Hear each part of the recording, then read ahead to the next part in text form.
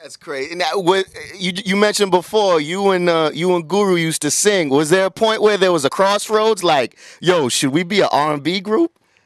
Actually, not because we thought we were the first dudes that could come as like singing and rapping. Yeah. But like I was so deep in the street, you know what I mean? It's like like he, he he was the son of the judge, you know. So he was going home. They had a baby grand piano in the living room.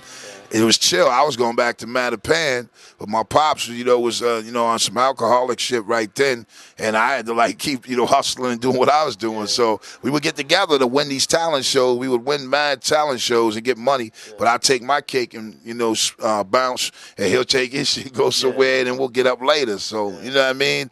But um, i- if if we stayed together from the beginning and didn't get separated, we probably would have came out like that.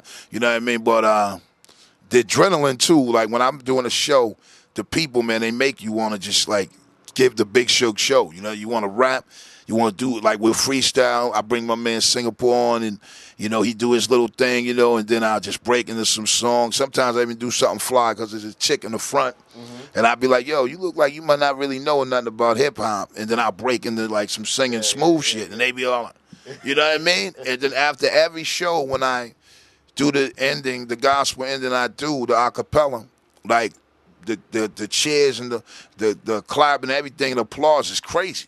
You know, it's funny too, because I did one show where they really didn't probably know the records because they had just came out on my last album.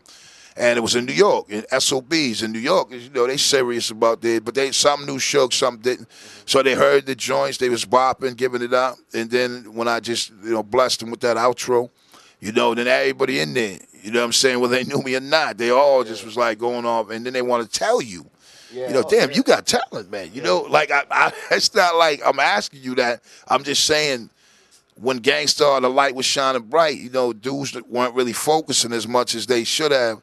You know, on what I what I could do and what I had to do. I mean, that's what money was doing. You know, everybody, you know, giving money, get whatever. But I always wanted to come out. I should have probably been out ten years ago on that level. You know, but you know, I'm still here. I'm still blessed. You know what I mean? I'm not locked down. I'm not dead. For all my friends that did pass and get caught up and all that, I'm still here repping them, and I'm repping kids and adults and the over 35 circuit. They all like step to me and know something about what I've done. You know what I mean? So it's crazy. You know what I mean?